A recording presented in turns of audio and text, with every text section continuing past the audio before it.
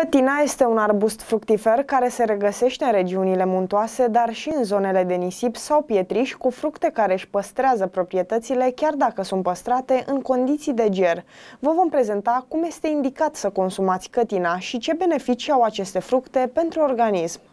Ulmul de cătină este recomandat pentru tratarea și prevenirea mai multor tipuri de afecțiuni, deoarece este una dintre cele mai benefice plante medicinale pentru organism. Mai multe detalii ne-a prezentat doamna Nicoară Elena, care merge cu aceste fructe în fiecare zi în piață și care îndeamnă cetățenii să le consume. Cătina e cea mai bună fructă din lume, nu din România, din lume.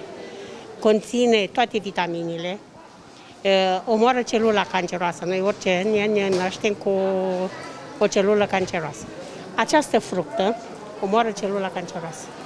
O, să o mâncăm înainte de a ne îmbolnăvi. Sau cei ce sunt bolnavi de COVID să, să consume fructe de pădure, indiferent că e cătină, că e afină, că e merișor, să consume sau muguri de brad, sirop de muguri de brad, pentru că mugurul de brad desfundă căile respiratorii. Consumând fructe de pădure, COVID-ul moare, dispare din corpul nostru și se dă drumul la circulația sângelui în plămân. Fructele de pădure, în special uh, merișorul ăsta, ăsta este, e sirop de merișor, care desfundă plămânul, dă drumul la plămân, la aerul ca să intre în plămân, pentru că COVID-ul ăsta face niște cheaguri de sânge pe plămân. Și atunci, automat, merișorul desfundă împreună cu cătina și cu afina, desfundă căile respiratorii.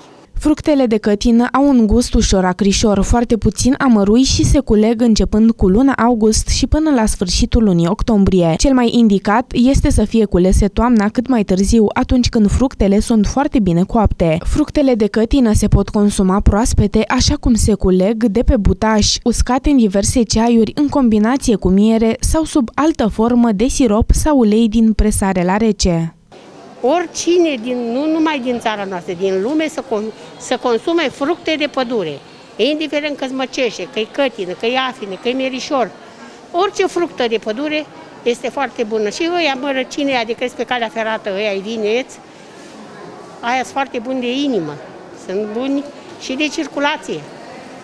Uh, oricine poate să consume fructe de pădure.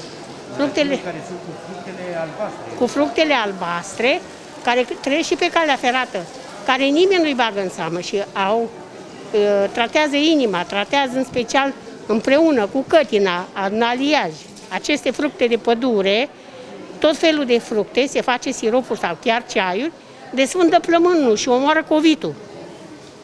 Nu ne facem injecții, nu mâncăm pastile, fructe de pădure, în special muguri de brad. Bradul conține ceva care dă drumul la respirația plămânului și în special la glanda tiroidă la gât. Datorită conținutului ridicat de vitamina C, cătina, conform studiilor efectuate, este benefică pentru sănătatea inimii, iar dacă este consumată cu regularitate, poate reduce riscul apariției bolilor cardiovasculare.